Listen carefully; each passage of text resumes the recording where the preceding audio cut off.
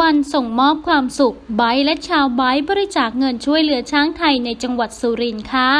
หลังจากที่ไบวชิรวิทย์ร่วมกันกับเหล่าแฟนคลับชาวไบสร้างกุศลครั้งใหญ่โดยระดมเงิน จากผู้ที่มีจิตใจสุนทาน จุดประสงค์เพื่อช่วยเหลือช้างไทยในสุรินทร์ค่ะ ล่าสุดนี้ถึงวันส่งมอบความสุขครั้งนี้แล้ว งานราชงานหลวงควงกันไปให้หมดเลยจริง ๆ ยิ่งโด่งดังปังพลุแตกด้วยแล้วล่ะค่ะ ในเรื่องของการอาสา มีใจสาธารณะยิ่ง ซึ่งใครๆเองก็สามารถสัมผัสได้แหละค่ะถึงแม้จะไม่ได้ออกหน้าว่าเป็นคนรีเริ่มทำด้วยซ้ำไปสำหรับนักแสดงหนุ่มรูปทอง อย่างไบร์ทวชิรวิทย์ชีวอารี ที่มีจิตใจใฝ่สิ่งแวดล้อม มักผุดโปรเจกต์ช่วยเหลือธรรมชาติอยู่บ่อยครั้งค่ะ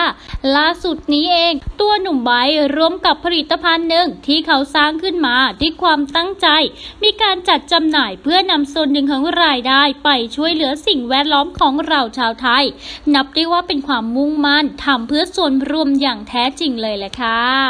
โดยก่อนหน้านี้หนุ่มไบวชิรวิทย์เอง หนุ่มใจบุญสุดฮอต ได้ร่วมบริจาคเงินกับแฟนคลับชาวไบเพื่อให้การช่วยเหลือหน่วยงานที่ดูแลช้างไทยทางภาคเหนือถึง 2 แห่งค่ะ ทั้งที่จังหวัดเชียงใหม่ มอบเงินไป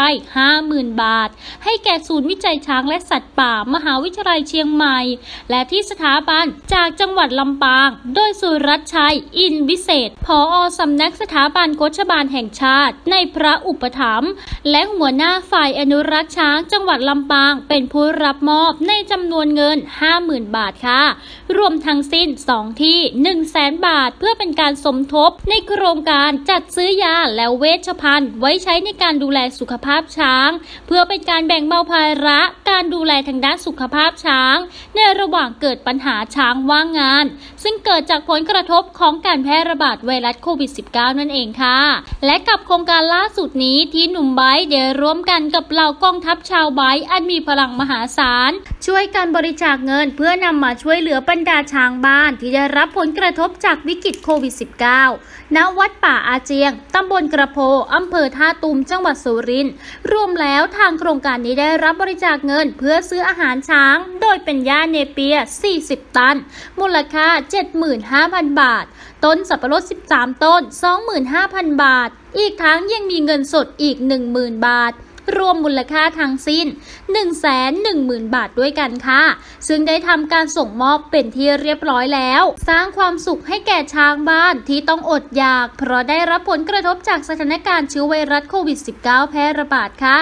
รวมถึงแบ่งเบาภาระของชาวบ้าน ที่เลี้ยงช้างในภาวะที่ยากลำบากให้เบาบางลงด้วย ซึ่งโครงการนี้เป็นโครงการที่หนุ่มไบร์ได้ยื่นมือขอเป็นกระบอกเสียงเองเลยแหละค่ะ โดยอยู่เบื้องหลังจนงานทั้งหมดนั้นออกมาอย่างสมบูรณ์แบบหนุ่มไบช้างเป็นเทพบุตร ผู้ปิดทองหลังพระอย่างแท้จริง ต้องขอชื่นชมในความดีครั้งนี้ของหนุ่มไบเลยล่ะค่ะ